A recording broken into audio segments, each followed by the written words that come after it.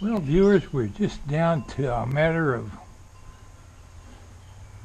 installing our handrails. Got the post painted.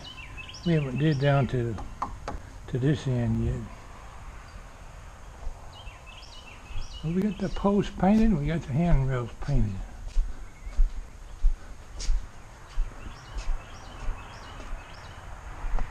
Started about nine o'clock. Finished about one. It won't take me 15 minutes to nail these back up in place.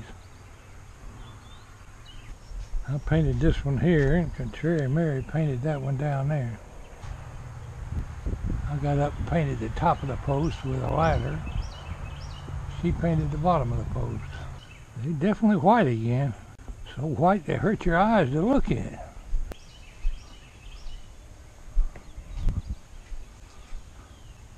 I'm not quite through with my river rock. We're going to come out to my flat stone a little different and make it where all that mud won't be there. Make it more like this side.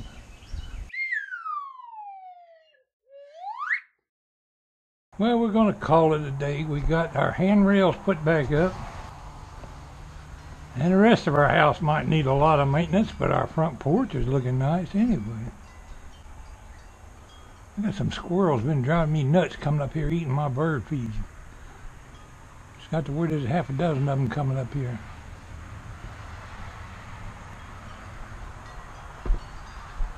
There's the way they looked before we started with paint all frayed off of them and looking moldy.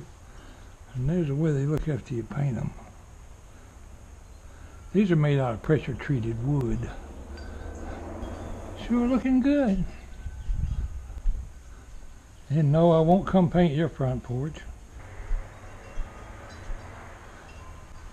Got my solar lights back out there along the driveway. We'll finish cleaning that walkway next week or so, make it look good all the way down. This is shady side of the house and a lot of algae grows in the concrete on this side of the house. That power washer sure cleaned it up. It's starting to feel like summertime in Georgia. Thanks for listening, my friends.